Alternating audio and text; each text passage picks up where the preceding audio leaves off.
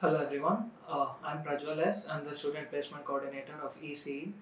Um, today we are going to discuss about verbal ability. Basically, English, is an ubiquitous language. It is present everywhere. Uh, wherever you go, uh, English is there. So basically, English plays a very important role during your interviews. Also, um, a good conversation, a, a good converser plays a very important role the way you present your ideas to the interviewer plays a major role uh, in the process of you getting selected. So uh, the topics we will be discussing today is uh, sentence completion and the other is error detection. So the pre-requirement for both of this is uh, for you to have a good uh, sound uh, knowledge about English, about various words in English. So what I would uh, suggest is more than watching movies, uh, read good novels, and uh, for you to you know know more words and complicated words in English, uh, there's an app uh, available in both uh, uh, iOS and Android. It is known as uh, Magoosh GRE flashcards. So refer that. Uh, let's get started. So first one is the sentence completion. So um, basically, this is where uh, they will give you uh, uh, choices like four to five choices, and you have to choose the best fit for that particular sentence. Uh, so uh, let's uh, go into it. The first one is um, fate smiles dash those who untiringly grapple with stark realities of life. Here, the meaning of grapple is um, struggling or striving or uh, you know um, staying strong no matter what. So uh, untiringly, untiringly grapple with stark means you um, uh, facing the difficulties, harsh difficulties in life, and then uh, staying strong. So for this sentence, uh, the options are with, over, on, and around. So uh, the best choice for this is on because uh, fate cannot smile with you. It cannot smile over you. It's it just doesn't make any sense. Uh, so on is it is like a way of uh, you know it actually uh, you achieving your goal.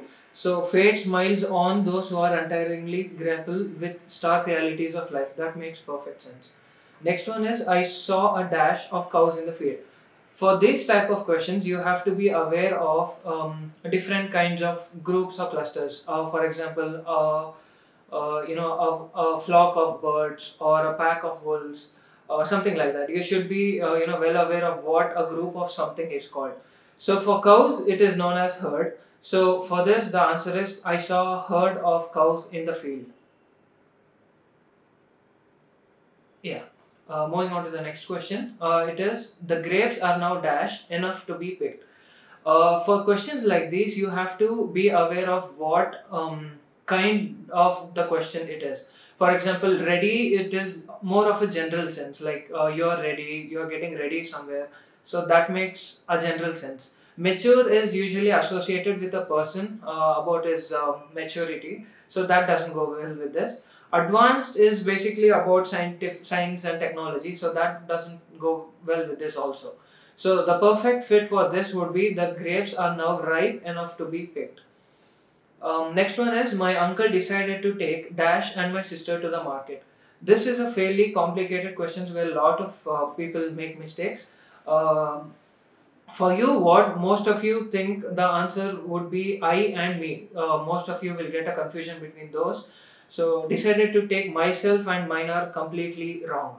Okay so um, uh, when you're speaking to somebody and you're referring to them as you and i are going somewhere that is when i comes into picture. Uh, but for this particular sentence my uncle decided to take me and my sister to the market makes perfect sense. Next question is man does not live by dash alone.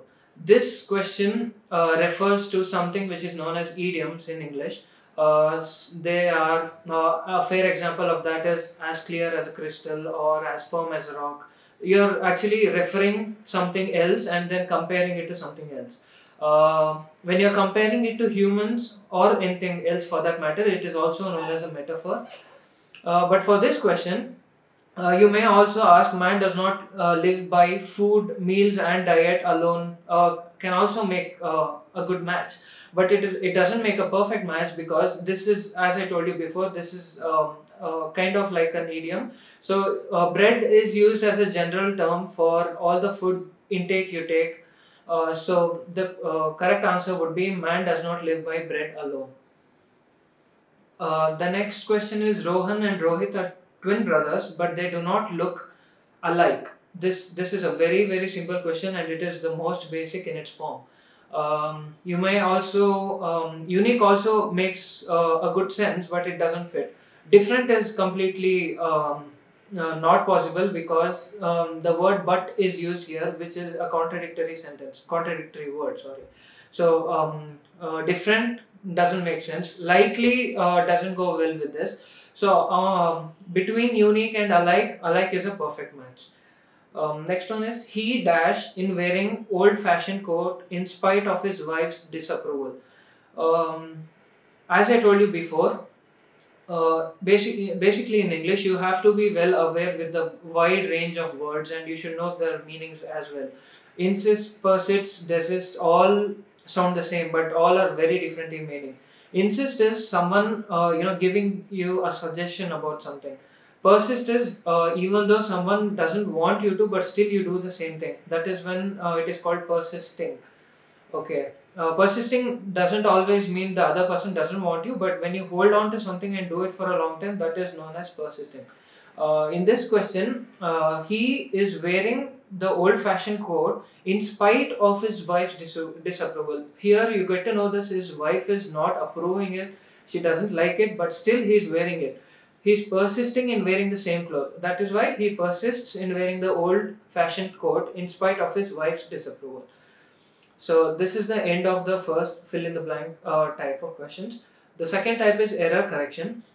In this uh, type, uh, basically what happens is they would um, they'll give you a sentence and uh, out of those two or three words would be grammatically wrong so what you need to choose they'll give you four to five options and you have to choose the best correct fit of the grammatical options which are available for you so um, uh, you have to go well with how it sounds uh, how it matches with the sentence and what meaning it gives so and also uh, take care of any contradictory words if they are available so the first question is a small child does whatever his father was done. This is the sentence which is given, and uh, here the first. Um, yeah, also I need to mention that there are twelve types of tense, uh, tenses in English: present tense, past tense, future tense, past perfect, present continuous, etc.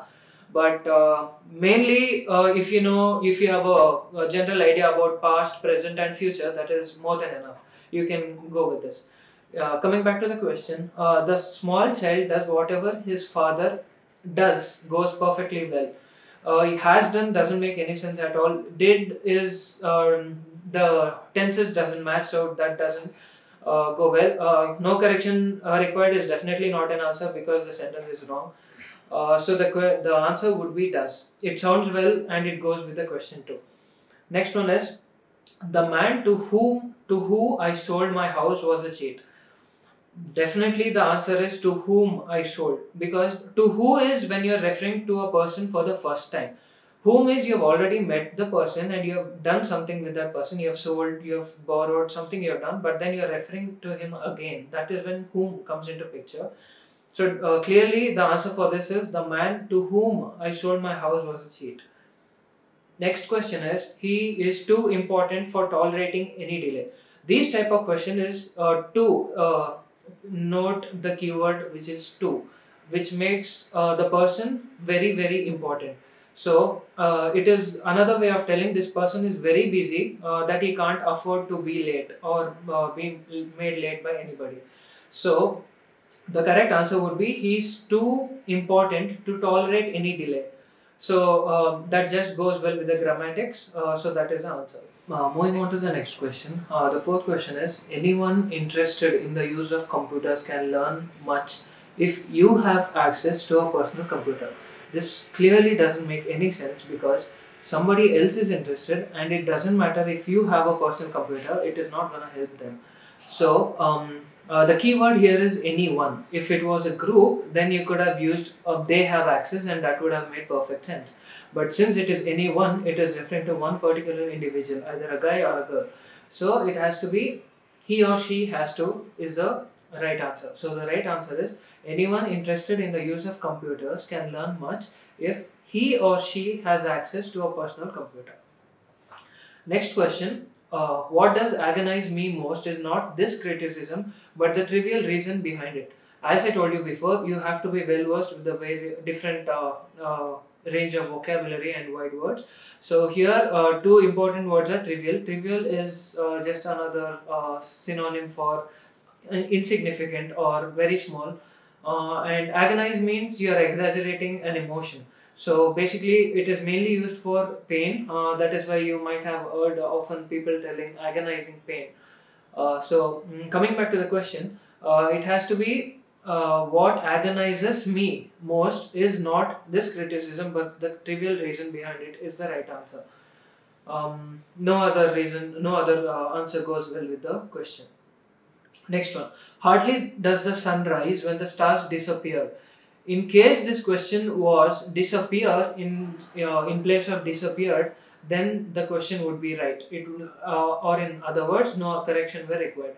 But since it is disappeared, there uh, has to be mandatory correction, and uh, the correct answer would be hardly had the sun risen when the stars disappeared. Yeah. And moving on to the last question, because of his ill health, the doctor has advised him not to refrain from smoking. So uh, this this uh, sentence is wrong both technically and grammatically. Uh, technically because no doctor would advise you to not smoke uh, to not refrain from smoking uh, when you're ill uh, when you're ill. Uh, refrain is uh, to withhold or withdraw or to cut away from something. So basically when you're ill when you're ill or for any circumstance for that matter the doctor generally no always they advise you to quit smoking and not do it uh, so the correct answer should be because of his ill health, the doctor has advised him to refrain from smoking. Mm, this means uh, because you are not well, the doctor is asking you to quit smoking or you know uh, to uh, withdraw from smoking. Uh, that is what makes a correct sense grammatically and technically. Uh, that uh, with that we come to the end of our discussion. Thank you.